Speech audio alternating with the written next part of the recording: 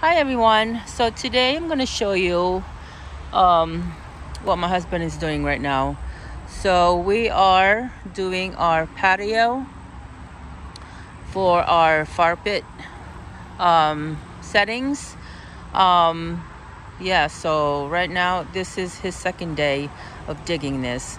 I mean, he spends about a couple hours every day, every morning, and he just finished digging this up. And tomorrow he'll be um, putting those sands against the driveway.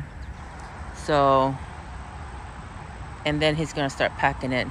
And these are the paver stones. These are 16 inch. Um, and then these are the the gray ones are the borders around it. So it's gonna be pretty. Um, because we had it laid out before.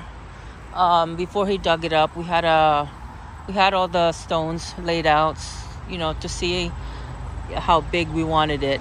And um, I'll, sh- I'll insert a picture of what it looked like before. And then once he's done, or once we're done, I'll insert a, a new picture as well. So, yeah, and these are the chairs that we're gonna be putting in. Uh, we bought this at Home Depot, but they were pine unfinished. So, my daughter and I painted it um, actually, when we bought it, I sprayed it with a polyurethane, hoping that it will prevent it from the rain and everything, but it didn't help. Um, so I went ahead and um, bought an exterior paint and primer um, for this one, and it looks like it's gonna do its job, and the water's not gonna penetrate. So, and I love the color. Yeah. So those those that those, these chairs are gonna be in that far pit patio. And here's our far pit um, that we got a few months ago. Um, I think back in May when it was still uh, when it was still chilly and you were able to um, enjoy the cold mornings. So that's that. So once it's all set up um, I'll insert a picture and everything. It's pretty big, and I think we got this at Home Depot. not sure if it's Home Depot or Lowe's, but that's where we got it.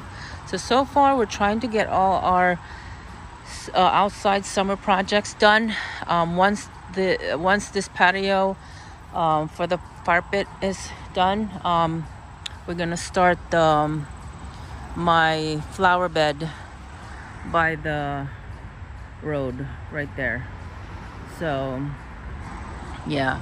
And the flowers that I'm gonna use, um, I'm just gonna start with the few right now because I don't know how big I want my flower bed. So right now I'm gonna use um, Japanese maple garnet. So, which is pretty and I don't think they grow very big. And then I'm also gonna use the evergreen shrub, juniper, juniper. So that's what I'm gonna be using. So I'll start with two right now. I mean, I don't want it to be too crowded. And then I have some flowers right here. I mean, not flowers. These are got at Home Depot. Um, these are purple fountain grass rubrum. These are so pretty. Look at that. It's got like, um, looks like a horse tail. So I'm gonna use that as well. And along with these, these are all perennials, so they come up every year. So I have two daylilies and I have this liatris, which um, creates this purple flowers which is so pretty. And I also have this too right here which I don't know what the name is. What is that? Anyway so um, I got the I'm not sure where did I get this one. Either from a flower center I mean a garden center. Some of them I got from the garden center um, from down the road from our house. and some of them I got from Home Depot. I think all the shrubs and trees are 25% off at Home Depot. So if you're planning on getting some, um, uh, this is your time to get it. So yeah, I can't wait to have this patio done for the fall because this heat is uh, too much. I'm ready for fall and winter. So yeah, these are the borders that we're gonna use. And these are the 16 inch uh, 16 uh, 16 inch um, pavers. So yeah. So so far that's what we're doing.